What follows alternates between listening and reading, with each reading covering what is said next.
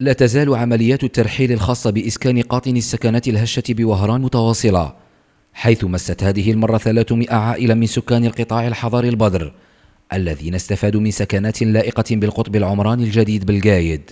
كنا نسكنوا الحق تاع ربي في كنا في أزمة الله يفرح كاع اللي راهم باقيين مساكين. كنا في غبينة بنادم ما كاش غاية كان رشا كان تنو تغبنا الريح لا جريح نحسوا به لا جات نو نحسوا بها الحمد لله ربي ستار جابنا رحلنا السلطات وعلى رأسها مسؤول الولاية التنفيذي الأول.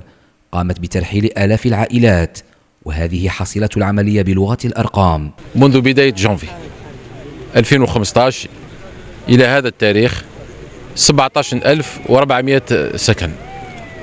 يعني مدينة تقريبا رانا في حضور في حدود 80 ألف نسمة. أما بخصوص مصير العائلات المتحصلة على قرارات استفادة مسبقة والقاطنة بنفس القطاع يقول نفس المتحدث. ما بقاش الواحد عنده قرار مسبق يبقى خمس سنين وأربع سنين هذا كل شيء. إن شاء الله أصحاب القرارات المسبقة اللي نمدوا فيهم في القطاعات الحضاريه هذه إن شاء الله يدخلوا يقرأوا في اولادهم يقرأوا في الدخول المدرسي المقبل في في الأحياء تاعهم الجديدة. 24 ألف وحدة سكنية اجتماعية هي مجموع السكنات المنجزة والتي تراهن السلطات على توزيعها في الآجال المحددة.